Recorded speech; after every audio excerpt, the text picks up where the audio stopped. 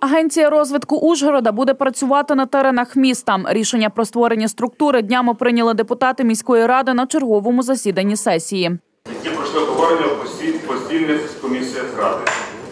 Основне завдання новоствореної структури участь у різноманітних грантах, зміцнення партнерських відносин із містами-побратимами. Розповідає про це мер. Це буде е, вона буде відступати від, від імені міської ради, але вона е, не буде користуватися бюджетними коштами. У разі е, значить, успішної реалізації грантових проєктів вони будуть частину коштів отримати саме від реалізації грантових проєктів. І е, я вважаю, що це піде на користь всьому місту.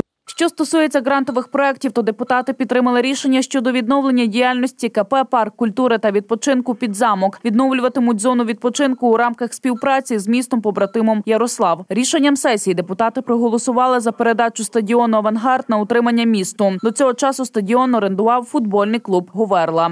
Кожен раз для якихось міських там команд і для міських колективів спортивних треба було питати е, керівництво футбольного клубу Говерла. Тепер, оскільки ну клуб не існує, не здійснює свою діяльність, він переданий е, в комунальну власність. Тепер комунальні різні е, спортивні колективи будуть мати справу тільки з ну тільки з, з міською владою під ну, для його отримання і для його використання за призначенням. Я думаю, що це в принципі правильний крок. Не обійшлося на сесії без земельних питань. Незважаючи на відсутність генерального плану інвентаризації землі, депутати проголосували за низку питань про приватизацію шляхом викупу.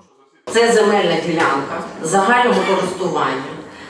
І вона використовувалась мешканцями для проходу. Земельний кодекс України забороняє відведення і передачу у власність земель загального користування, що перебувають в комунальній власності.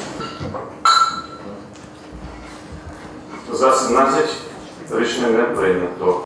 Варто додати, сьогодні в Ужгороді перевиконаний бюджет на 700 тисяч. Тож депутати прийняли рішення спрямувати ці кошти на освітні потреби. Зокрема, заплановано закупити переносні споруди модульного типу стандарт класу для потреб деяких шкіл міста.